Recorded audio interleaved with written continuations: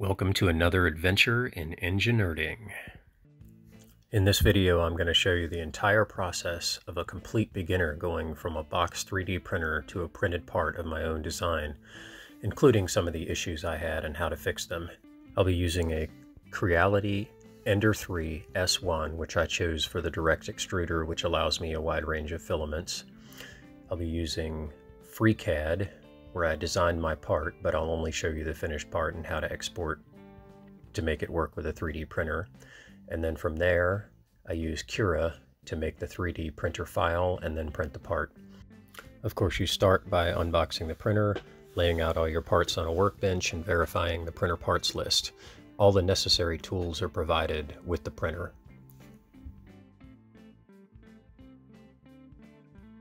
First, connect the print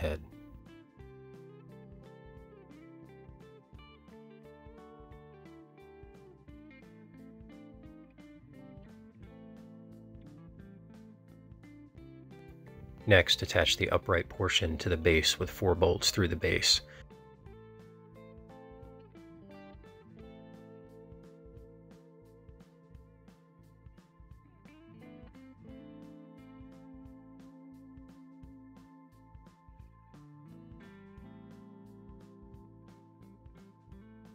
Make sure to verify the upright is true perpendicular after attaching. I used an L-square. One side of mine was not quite square, so I had to go back, loosen it, and reinstall it. Attach the display on the side with three long screws.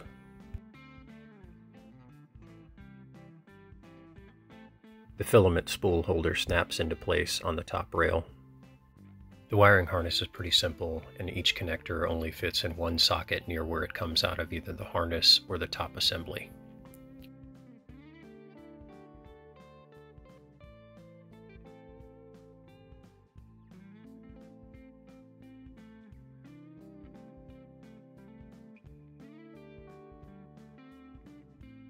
At this point, you're ready to run the auto level process. This is going to verify the movement functionality in the sensors of the printer. You must manually set your Z offset after you run the uh, auto level. I made the mistake of not doing this the first time and my print failed to stick to the base plate because it was too far away.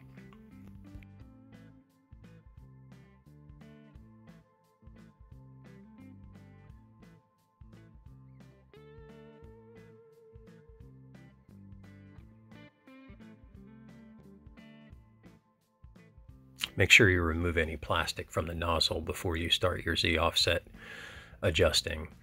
Um, you can use the paper provided uh, and adjust the Z axis down until it slightly drags on the paper.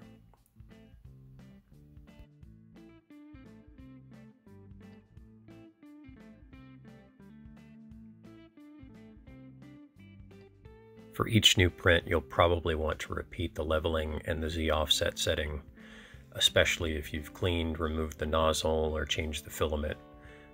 It's just good practice to do it every time.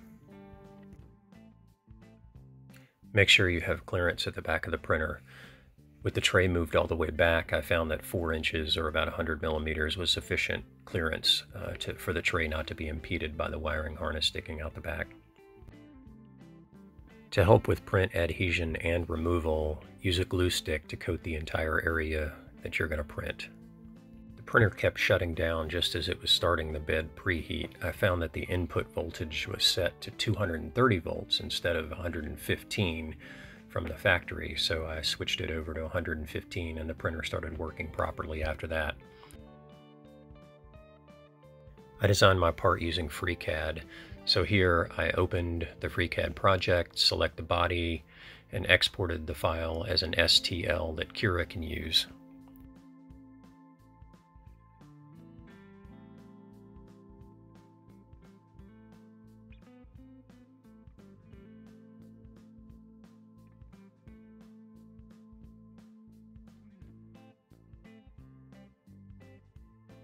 I chose Cura over the Creality Slicer because, well, the Creality Slicer is Cura, but an older version tweaked for uh, Creality printers. The Ender 3 S1 was listed in the Cura available printers and it seemed to have reasonable defaults, so I have no reason to believe that it's any different from the Creality slicer. In Cura, you'll select your printer on the first run, and then you can add more printers later if needed and select the proper one for each print. You can easily check the printer settings at any time. Load your desired STL file and set the material type and the quality settings.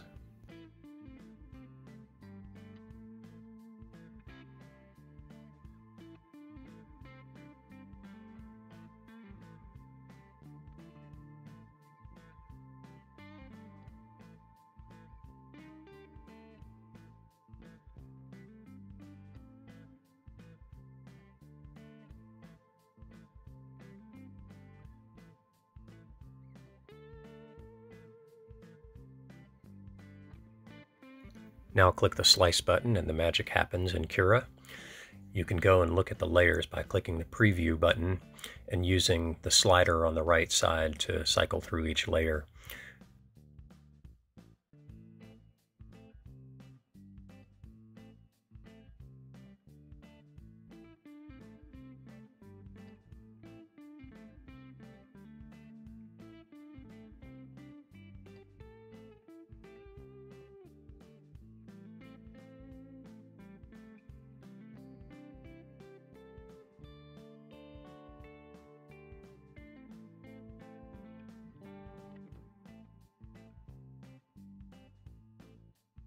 When you're happy with the slicing, save the G-code file to the SD card and take it to your printer, and now the fun starts.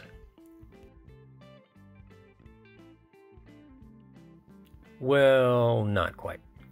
Did you remember to set your Z offset? Because I didn't on the first try. So, the filament came out way too high and didn't stick to the surface. Redo!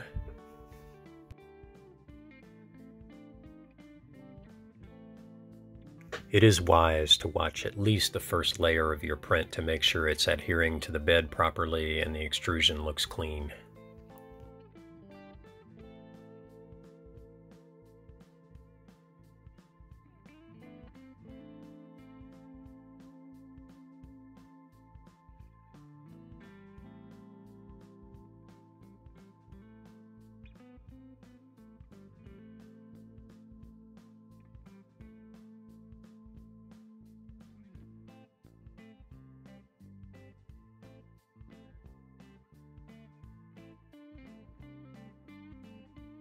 When the print finished, I waited until it was cool to the touch. I removed the flex plate and gently bent it to remove the part. It came off pretty easily and cleanly.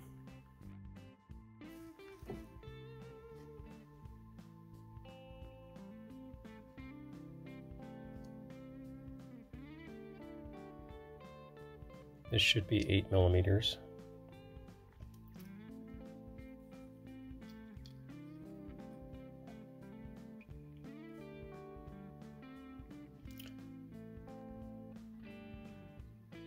So the plastic, uh, in melting the plastic, it bleeds in, inward a little bit. It expands inward to the holes a little bit. This is supposed to be 36.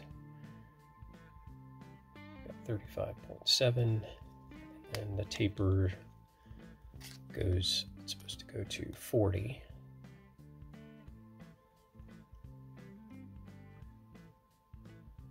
and that's more like 39.3 or something but not bad. And I can tweak the settings a little bit and maybe make the holes a little bit bigger to make the make the print come out better. To prep for your next print, I recommend cleaning the base plate with rubbing alcohol and then clearing the nozzle and extruder. For the nozzle cleaning, I heated the extruder to 200C and pushed a little bit of filament through. Then let it cool to 90C and release the gears, pull the filament out of the top. At this temperature, the filament should come out as one piece all the way down to the nozzle opening. Um, then I remove the nozzle to verify by looking through it at a light. And when I could see through it, I knew that I had cleaned it out properly. Put the nozzle back on and you're ready to go with a different print and a different filament next time. From box opening to print, this entire process took me about two and a half hours of actual labor time, but I did have some issues shown in this video that slowed my process down a little bit, so hopefully after watching this video you can be a little faster than that. I hope you found this video useful. I've added a few links in the description below to help you with your first 3D print. Good luck!